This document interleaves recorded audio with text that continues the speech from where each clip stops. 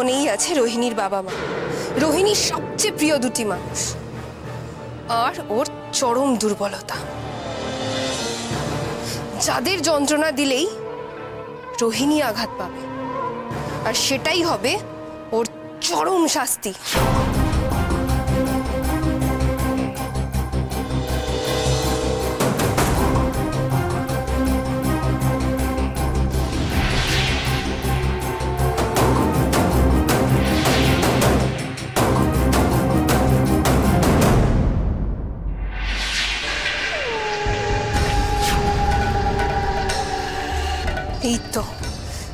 এই তো আমার শিকার। মহারাজ কাঞ্চন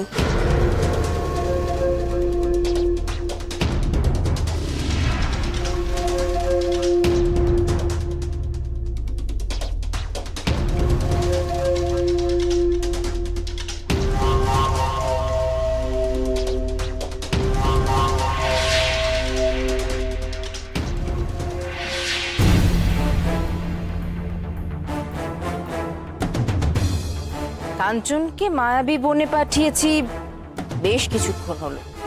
জ্যোৎস্না এখন কি করছে, কে জানে? এতক্ষণে নিশ্চয়ই কষ্টে একেবারে কাতর হয়ে পড়েছে। না, কাঞ্চন জ্যোৎস্নাকে দেখার জন্য মনটা বড় উসখুস করছে। একবার দেখি। কাঞ্চন আর জ্যোৎস্না কতটা কষ্টে জর্জরিত হলো।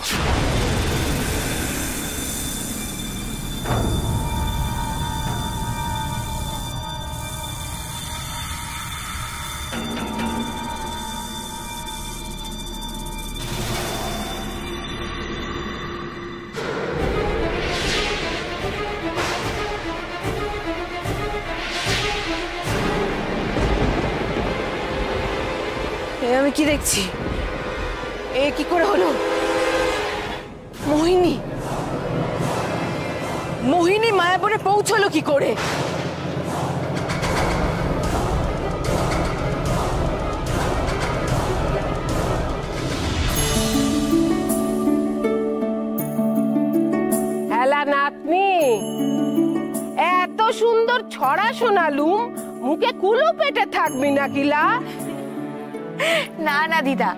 ছড়াটা খুব খুব খুব মিষ্টি হয়েছে। ও দিদা আমার মনে হয় কি বলতো? তোমার না ঘুম পেয়েছে। তুমি বরং ঘুমো একটু বিশ্রাম নাও আমি আসি। দাঁড়াও। আমি বরং আসছি। তুমি বিশ্রাম নাও দেখি শোক আসছি আমি। হেলা নাতনি। এতক্ষণ ধরে তোর ঠান্ডির যে সেবা করলি, তার জন্য তো দিদারও তোকে কিছু দিতে হয়, না কিলা না হলে বলবি, দিদা, আবার কিপতে বুড়ি।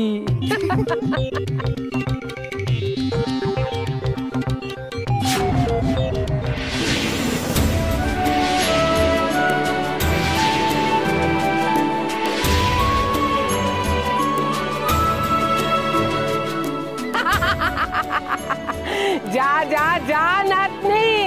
এখান থেকে তো যেটা পছন্দ তুই সেটাই নেলা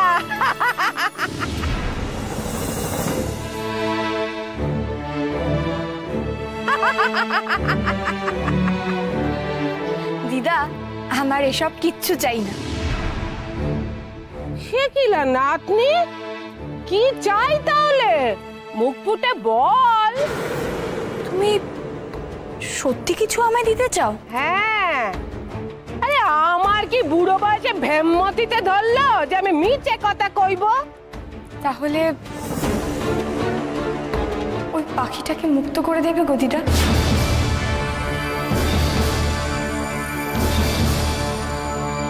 দেবে? ওই পাখিটাকে মুক্ত করে? ওমা এই মেয়ে আমাকে মুক্তি দিতে চায়? এমনটা দেশে তো কেউ চায় না। আমি তো ভেবেছিলাম এই খাঁচাতেই বাকি জীবনটা কেটে যাবে। তারপর এখানেই মরে পড়ে থাকব। ও দিদা, তুমি পাখিটাকে মুক্ত করে দেবে গো। ওটাই হবে আমার উপহার।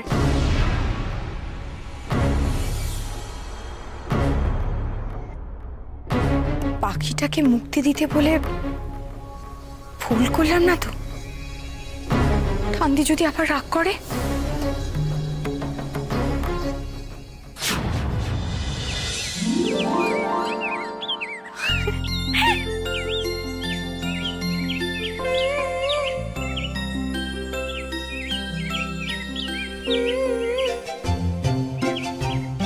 তোমাকে অনেক ধন্যবাদ। তোমার জন্যে আমার বন্দি দশা ঘুচলো। আমি আবার আকাশ দেখতে পাবো। যাও এখান থেকে। সাবধানে দেখো তুমি আমার কথা বুঝতে পারলে? যাও। হ্যালো আপনি? কি বক বক করছিস লা? আমি কিচ্ছু বকবক করিনি। তোমাকে অনেক অনেক অনেক ধন্যবাদ। আমি খুব খুশি হয়েছি। দিদা তুমি না খুব ভালো। এবার তুমি বিশ্রাম নাও তো দেখি। আমি আসি।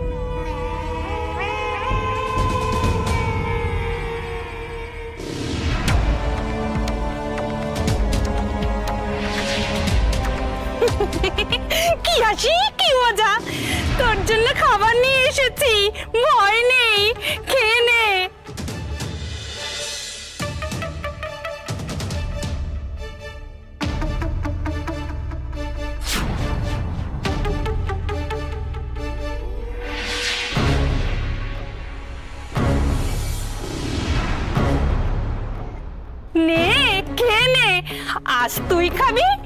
কাল তোকে আমরা খাব। মহা মজা হবে। রাজকন্যাকে আর বিপদে ফেলতে চাই না। নইলে তোমাদের এই মানুষ খাওয়ার শখ আজ মিটিয়ে দিতাম।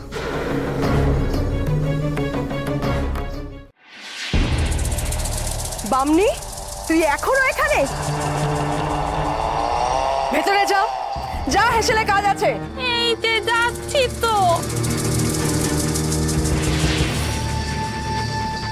নাও, তুমি এই খাবারটা খেয়ে নাও।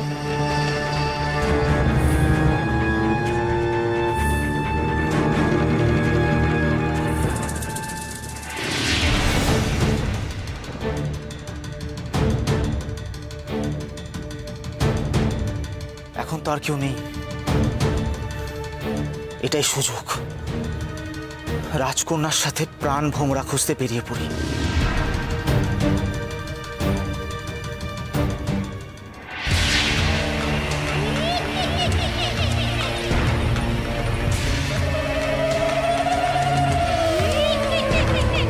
আমি জানতাম তুই এ বোকামোটা করবি। তাই জন্য এই খেলাটা খেল। এবার আমি তোদের সম্বন্ধে ঠান্দিকে সব কিছু বলব এরা দুজনে মিলে সবাইকে যে বোকা বানাচ্ছে, এটা ঠান্দিকে জানাতেই হবে। আর তারপর তারপর আমাকে আর কিচ্ছু করতে হবে।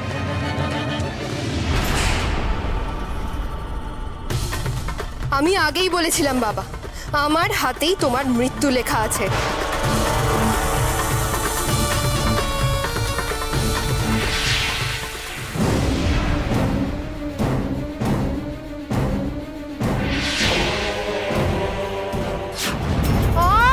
বারবার বারণ করা সত্ত্বেও তুমি মায়াবনে গেলে। কেন? কেন গেছিলে মায়াবনে উত্তর দাও! উত্তর দাও!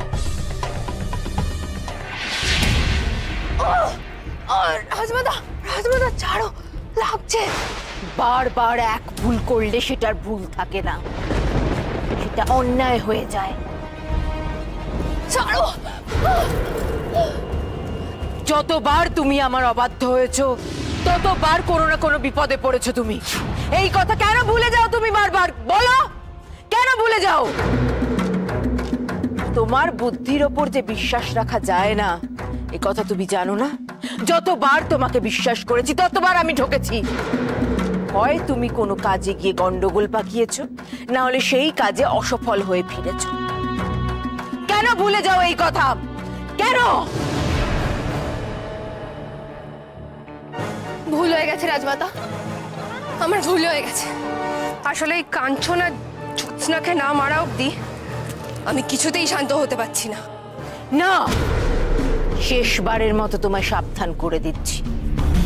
যতটুকু বলা হবে তোমায় তুমি ততটুকুই করবে। তার অতিরিক্ত কিছু করবে না। এখন এমনিতেই আমি সমস্যায় জেরবার হয়ে আছি। আমার সমস্যা আর বাড়িও না। আমি তো জানি তুমিও ওদের মৃত্যু চাও। আর তাই জন্যই তো আমি আমি কি চাই না চাই সেটা তোমার মতো স্থূল মস্তিষ্কের মানুষের পক্ষে বোঝা সম্ভব নয়। তাই বোঝার চেষ্টাও করো না। এরকম ভাবে কেন বলছো রাজমাতা? আমি তো তোমার তোমার সঙ্গে কথা বলতে আমার বিরক্ত লাগছে। বেরিয়ে যাও আমার কক্ষ ছেড়ে। বেরিয়ে যাও! বেরিয়ে যাও! রাজমাতা ওই মায়াবী বনে যেতে আমাকে নিষেধ করছে কেন? কেন বিশ্বাস করতে পারছে না যে আমিও শত্রুদের শেষ করতে পারি।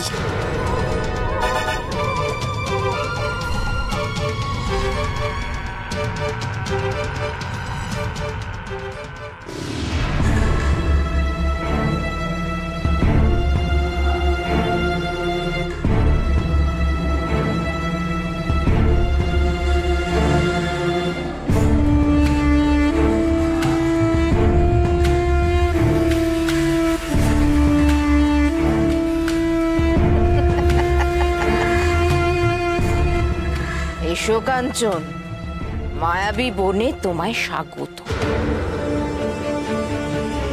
না তো এতদিন ধরে মায়াবী বনে তোমার জন্যই অপেক্ষারত ছিল। তবে এই অপেক্ষা শেষ হবে, এমন কথা আমি তোমায় দিতে পারছি না।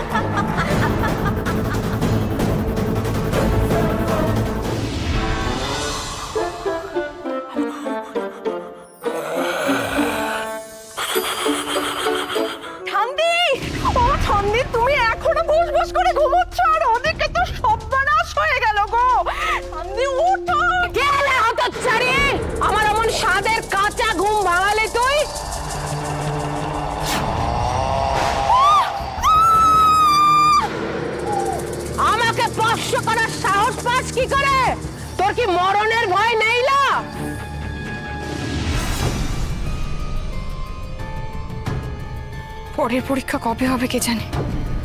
এদিকে কামিনীরও চলে আসার সময় হয়ে এসেছে। কামিনী যদি একবার চলে আসে, তাহলে সোনার কাঠির উপর কাঠি প্রাণ বোমরা, সবকিছু উদ্ধার করতে সমস্যা হয়ে যাবে। পথ আরও কঠিন হয়ে যাবে আমার জন্য। কি করব এবার কি জানে? কি করব আমি?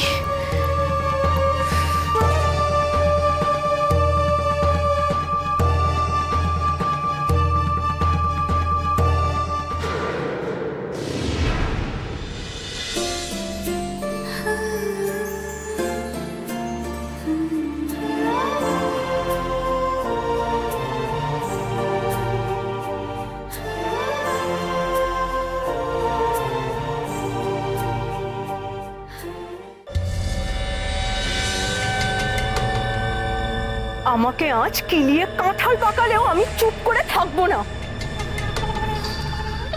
আমি তোমায় আজ যা দেখাবো তা দেখলে তুমি বুঝবে যে তোমার কাঁচা ঘুম ভাঙিয়ে আমি কোনো ভুল করিনি। হ্যাঁ ঠান্দি তুমি আজ যা দেখবে তা দেখলে তোমার ঘুম এমনি উড়ে যাবে। আমার কথাটা মিলিয়ে নিও। কি দেখাবিলা পোড়ার মুখে? নতুন কোন জাদু শিখেছিস নাকি না দেখাবো তোমার নাতনির আসল রূপ। তুমি দেখবে ওই মনীষী ছাড় সাথে মিলে তোমার নাতনি কীভাবে আমাদের সবাইকে বোকা বানাচ্ছে। রিম্মা যা বলছিস সাত পাঁচ ভেবে বলছিস না? আমার কথাটা বিশ্বাস করলে না তো? করতে হবে না। নিজের চোখেই সব দেখবে? চলো। এতদিনে মনের মতো প্রতিশোধ নিতে পারব। আসল নাতনি তো আগেই আমার কাছে বন্দি। আর আজ নকল নাতনিও?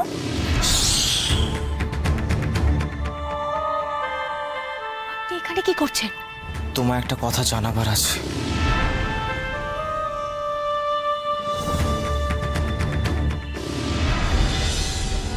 তলে তলে আমার নাকের ডগায় এত বড় কাণ্ড ঘটে গেল না!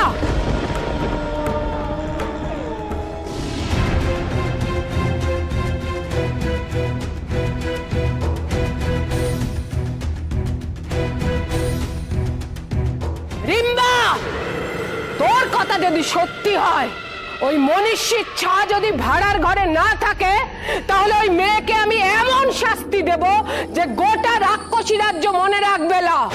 সে শাস্তি তুমি এখনই ভেবে রাখো ঠান্দি নেকামোর হাত বাস্ক আমার।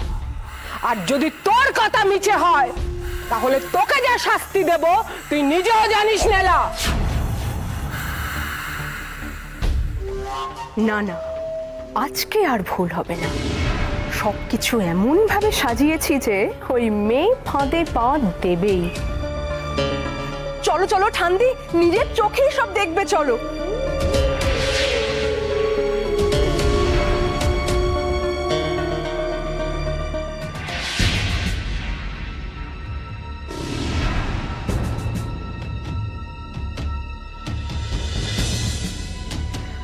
তাকিয়ে দেখো ঠান্দি ওখানে কেউ নেই। ওই মনীষী ছাটা ওই মেয়েটার সঙ্গে দেখা করবার জন্য পালিয়েছে। আমি নিজে চোখে দেখেছি। হ্যালা রিম্বা, ওটা কে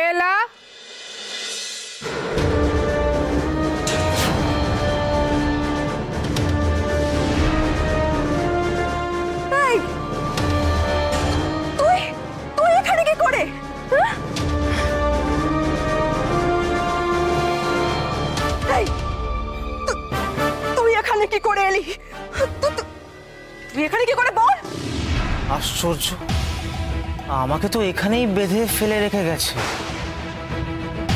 তুই মিথ্যে কথা বলছিস। আমি নিজে চোখে দেখে পালাতে দেখেছিলাম। আর তোর তোর বাঁধনটাও তো খোলা ছিল।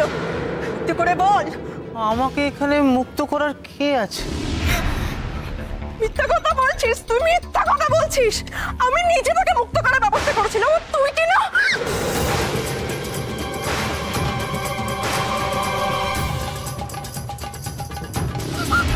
না না ঠান্দি আমি সত- সত্যি বলছি ওদেরকে ধরবার জন্য আমি এটা করেছিলাম ঠান্দি অত কথায় কাজ কিলা ওই মেয়েকে এখানে ডেকে আনলেই তো হয়।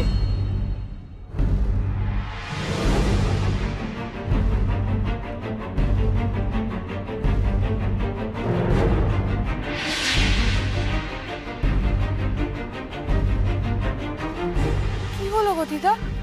তুমি আমাকে এখানে ডাকলে কেন? আমি তো একটু বিশ্রাম নিচ্ছিলাম কক্ষে। তোকে ডেকেছি কারণ এখানে যা হবে তা তোর চোখের সামনে হওয়া দরকার।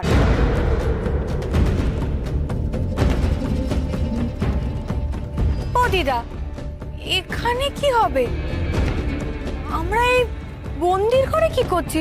আজ তো পূর্ণিমা নয়।